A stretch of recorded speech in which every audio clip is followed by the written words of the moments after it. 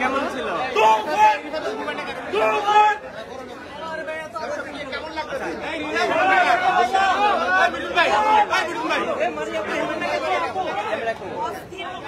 কেমন ছিল কেমন লেগেছে ভাইয়া কেমন ছিল খুবই সুন্দর হয়েছে ফাদার অফ বেঙ্গলি মিডিয়া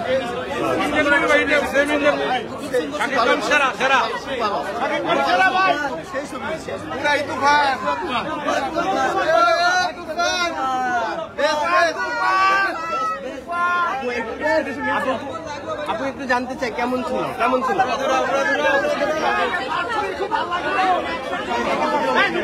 কেমন ছিল?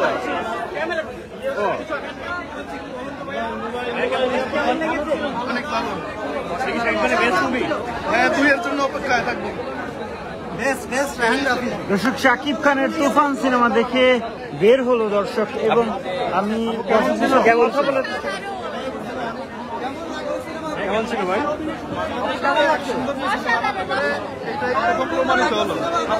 কোন পার্টটা ভালো লেগেছে ভাই ভাই পাঠে যায় না সিনেমা কেমন লাগছে এটা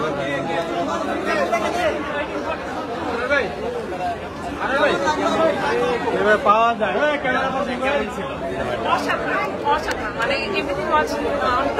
মানে মুভির সিনেমাটোগ্রাফি গল্প সাকিব খানের এক্সপ্রেশন তার যে একটা হাতের মুভমেন্ট ইভেন মানে সিগারেটটা ধরার যে মানে অসাধারণ মানে এই সাকিব এতদিন কোথায় ছিল?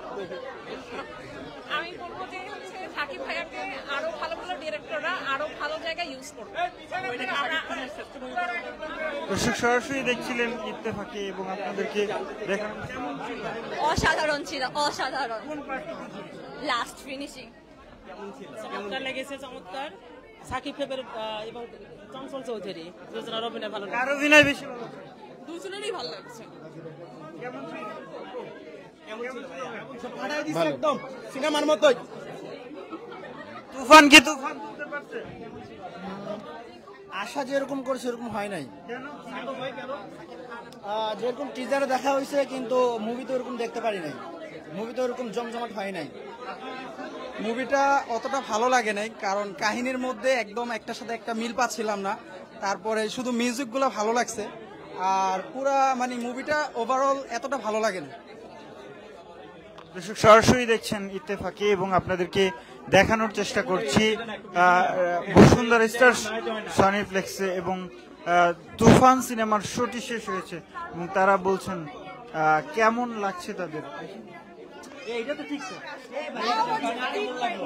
পুরো দূরে গান পুরাই উড়াধুরা। আমরা তো পুরাই উড়াধুরা হয়ে গেছি। হ্যাঁ আমরা পুরো চিল ছিল।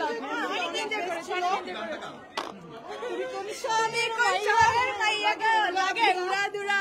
তুমি কোন শহরের মাইয়া? গো লাগে উড়াধুরা। ভাই আমরা উড়াধুরা হয়ে গেছি। এনজয় করছেন অনেক বেশি এনজয় করছি। তুফান টু এর জন্য আমরা অনেক ওয়েটিং আমরা কালকে হলে কালকে দেখব। আমরা তুফান টু এর জন্য এখন মানে আচ্ছা নায়িকা হিসেবে কে ভালো করেছে? মিমি নাকি না মিমি মিমি অবশ্যই মিমি অবশ্যই মিমি মিমি। নায়িকা। আমার কাছে খুব ভালো লাগে। ওর ছবি অনেক আগে থেকে দেখতাম। সিনিয়র আর্টিস্ট সিনিয়র আর্টিস্ট তারপর ওদের মধ্যে এক্সপেরিয়েন্স বেশি। হ্যাঁ হ্যাঁ। আবার একটু গান মুভিটা বেশ অসাধারণ ছিল আর অ্যাকশন টাইপের মুভি ছিল তো এর জন্য বেশি ভালো লাগছে। আর এখানে বেশিরভাগ শাকিব খানের লুকিংটা just wow just looking wow মানে সিরিয়াসলি আমি তো শাকিব খানের বিগ ফ্যান আসলে দুজনে একসাথে কম্বিনেশন পারফেক্ট মানে ten out of ten okay দর্শক সরাসরি দেখছিলেন ইত্তেফাকে এবং আপনাদেরকে দেখানোর চেষ্টা করছিলাম রাজধানীর ইস্টার সিনেপ্লেক্সে বসুন্ধরায় তুফান সিনেমা দেখে তুফান উঠে গেছে এমনটাই বলছেন অনেকে। এবং যেমনটা আসলে বলছেন।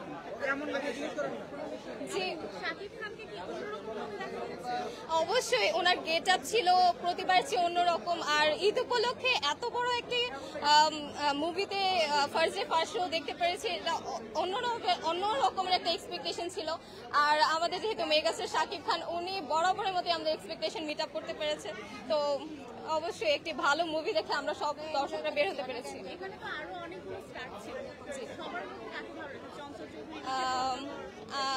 এক একজন নিজ নিজ জায়গা থেকে অবশ্যই অনবদ্য। তবে বলতে গেলে বরাবরের মতো শাকিব খান তো বেস্ট ওনার অভিনয়ের কোনো কথাই নেই। তবে চঞ্চল চৌধুরী, উনি ওনার অভিনয় ওনার প্রতিটা স্টেপ ছিল অনবদ্য। আমরা সব দর্শকেরা খুবই এনজয় করতে পেরেছি। অবশ্যই অ্যাকশন ফ্যামিলি নিয়ে সবাই দেখতে পারবে। আমি আমার ফ্যামিলি নিয়ে এসেছি আজকে দেখতে। ঈদ উপলক্ষে স্পেশাল তো আমি সবাইকে বলব যে হচ্ছে অবশ্যই দেখার জন্য। পয়সা উসুল মুভি অনেকে বলছে অনেকে বলছে যে যেভাবে টিজারে দেখানো হয়েছে।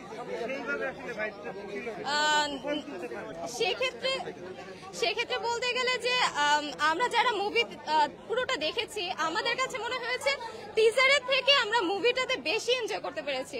আর টিজারে যতটুকু দেখা দেখানো হয়েছে, তার থেকে বেশি অ্যাকশন বেশি ড্রামা ছিল ফুল মুভিটাতে আমি আমি এক্সপেক্ট করব সব দর্শকেরা যেন নেক্সট দিন থেকে এই মুভিটা দেখতে আসে। দর্শক তুফান সিনেমা দেখে দর্শকরা যা বলছেন জানার চেষ্টা করছিলাম এবং দর্শকরা যেমনটা বলছিলেন যে তুফান যতটা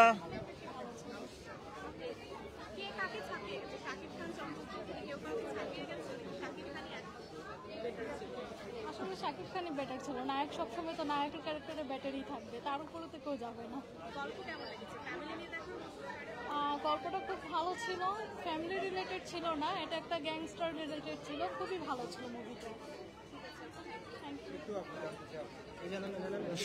শাকিব খানের তুফান সিনেমা দেখে যেমনটা বলছে দর্শক কি বলছে দর্শক? দেখার যদি সুযোগ পাই অবশ্যই দেখব আবার। এটা মিস হবে না। মুভিটা ভালো হয়েছে আবার সেকেন্ড পার্ট তো অবশ্যই দেখব। এখন যদি এই সপ্তাহের ভিতরে আবার টিকিট পাই বা কোনো হলে পাই তাহলে অবশ্যই দেখব। অবশ্যই অবশ্যই তুলতে পারছি। অনেক সুন্দর একটা মুভি হয়েছে এখানে কোনো কপি টপি নাই। প্রথমে যে আপনাদের সোশ্যাল মিডিয়াতে উঠছিল যে এটা কপি কেজিএফ তারপর হচ্ছে সালার মুভি এগুলোর কপি কোনো কপি ছিল না। বিজিএম টিজিএম ঠিক আছে প্রত্যেকটা মুভির কিছু না কিছু একটা মিল থাকে।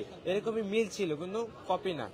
তবে মুভিটা অনেক ভালো হয়েছে জোস হয়েছে। কার অভিনয় খুব অসাধারণ জি। একদম টপ নচ এর আমি এর বেশি কিছু বলব না মানে কোনো জায়গায় কোনো ত্রুটি ছিল না। একদম মাস্টারপিস একটা মুভি মানে বিষয়টা হচ্ছে কি অনেকে যখন বলে যে কেজিএফ এর নকল বা অ্যানিমেলের নকল তাদেরকে সব ভুল প্রমাণ করে দেওয়ার জন্য এটা। আর ওরা যখন বলছে যে একশো কোটি ক্লাবে যাবে আমার মনে হয় এটা একশো কোটি ক্লাবে যেতে সক্ষম হবে। কারণ এইটার মধ্যে এই মুভিটার মধ্যে আপনি যা দেখবেন এটা অন্য কোনো মুভিতে আপনি দেখতে পাবেন না। এতটা মানে এত যত্ন সহকারে মানে বিষয়টা করা হয়েছে। আর আমি যতদূর জানি যে তুফান মুভির বিশ দিন পরে নাকি মানে কোরবানিতে বিশ দিন পরে নাকি আবার তুফান টু নাকি শুরু হবে। তা আমার বিশ্বাস যে তুফান টুটাও হয়তো বা হিট করবে, তবে ইচ্ছারা হতে পারে এই আর কি। তবে আশা করি যে তুফান টু মানে তুফানটা মানে আসলে মানে সবকিছু ভেঙে চলে তস্তস করবে, কারণ আমি যত হলে গেছি, অনেক কষ্টে আসলে টিকিট পাইছি, আমি আসলে টিকিট পাই না ঈদের দিন দেখার খুবই ইচ্ছা ছিল, তো পাইছি এটাই অনেক। বিশেষ করে চঞ্চল চৌধুরীর অভিনয়টা মাস্টারপিস মানে বস একদম ধরতে গেলে। দর্শক সরাসরি দেখছিলেন ইত্তেফাকি এবং আমরা দেখছিলাম তুফান সিনেমা দেখতে আসা যারা দর্শক কিছুক্ষণ আগেই তুফান সিনেমার যে শো সেটি শেষ হয়েছে এবং তুফান সিনেমা দেখে আসলে যা বলছে দর্শক। এটাকে রাজকুমার দেখেছি প্রিয়তমা দেখেছি। তো এই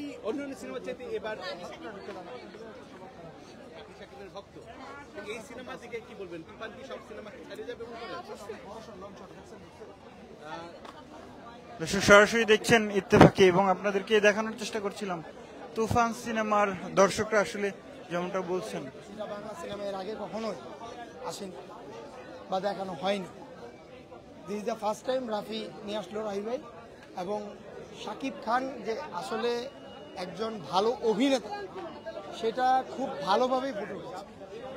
আর কিছু স্পয়লার দিতে চাই না but Shakib Khan is back এবং বাংলাদেশ আরও দশ বছর সে রয়ে- চঞ্চল যদি চঞ্চল ভাই তো উনি অনেক আগে থেকেই ওনার জায়গা। হ্যাঁ, আগামী দশ বছর। সাকিব খান যদি এইভাবে বেছে বেছে কাজ করে তাহলে সাকিব সাকিব খান লিড রোলে সে থাকবে না বলিউড বলিউড এখন আপনার যেমন না এখন চুল বড় বড় রাখলেই তো এনিমেল হয়ে যায় তাই না? স্যুট বুট পরলেই তো আপনার রণবীর কাপুর হয়ে যায় তাই না? সালমান শাহ যেমন আহ, তিরিশ বছর আগে নাবির নিচে জিন্স পরতো ঠিক আছে? তখন তো কেউ পরতো না। শাহরুখ খান তো এখন পড়তেছে তাই না? শাহরুখ খান আপনার হচ্ছে এই ইয়েতে কিসে? পাঠানে চুল বড় করছে। সালমান শাহ অনেক আগেই চুল বড় করছে। তার মানে কি সালমান শাহকে কপি করে শাহরুখ খান করছে? এইগুলো হচ্ছে মানে আমরা মানে কি করি যে একজন পজিটিভ পুশ না করে নেগেটিভ পুশ করে নেমে টানানোর যে মানে চেষ্টা, সেটা আমরা বেশি এই কারণে আছে নকল। না, আন্তর্জাতিক মানের তুলনা এখন করব না। যখন আমার মার্কেট একশো কোটির ঘরে যাবে, দুশো কোটির ঘরে যাবে, তখন আমি সেটা আন্তর্জাতিকভাবে তুলনা করব এখন আমার সিনেমা চলে মানে বাংলাদেশ, কলকাতা, এই তো, মালয়েশিয়া, মিডিল ইস্টের কান্ট্রিতেও আমার মানে মুভি এখনও যায়নি। আমি আসলে কোনো স্পয়লার দিতে চাই না তবে আন্ডার ওয়ার্ল্ডের যে একটা ডার্ক সাইড আছে সেটা খুবই ভালোভাবে ফুটিয়ে তুলেছে রায়ন রাফি। এবং শাকিব খানের দর্শক সরাসরি দেখছিলেন ইত্তেফাকে এবং দেখানোর চেষ্টা করছিলাম। আপু শাকিব খানের তুফান দেখেছেন না দেখা হয়নি দেখব। কেন দেখবেন? ভালো লাগে শাকিব খানকে সুপারস্টার কি মনে হয় তুফান তুলতে পারবে শাকিব খান? অবশ্যই। শাকিব খানের শেষ সিনেমা কোনটা দেখেছেন? রাজকুমার দেখেছি। কেমন ছিল? অসম্ভব ভালো ছিল। দর্শক তুফানের তুফানি দেখার জন্য আজকে সিনেমা হলে ছিলাম কিন্তু সেটা আসলে কতটা তুলতে পারল সেটাই দেখার বিষয়। দর্শকরা যেমনটা আসলে বলছিলেন যে এই যে তুফানের তুফানি